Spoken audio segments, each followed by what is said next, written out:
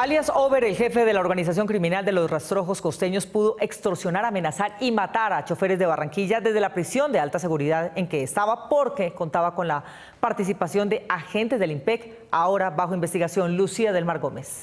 Mónica, en la celda de alias Over en Cómbita descubrieron casi 100 aparatos de comunicaciones. Mientras tanto, el director del IMPEC estaba en Estados Unidos.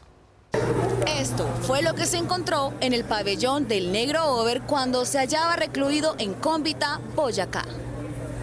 De lo incautado, hicieron parte 90 celulares y redes Wi-Fi que le permitían ordenar en tiempo real extorsiones, amenazas y asesinatos a sus víctimas, conductores del transporte público de Barranquilla algunos funcionarios del IMPEC, algunos dragoniantes, algunos inspectores que participan como cómplices no solamente en facilitar el ingreso de objetos que no están permitidos en los centros carcelarios, sino también de colaborar con las acciones de extorsión. Previamente, el alcalde de Barranquilla, Jaime Pumarejo, pidió que Over fuera trasladado a La Picota y dio a entender que este hombre tenía un central de comunicaciones en Cómbita. Negro Over a quien capturamos hace poco menos de un año por hechos similares, se ha trasladado y aislado en una celda en donde no tenga comunicación externa,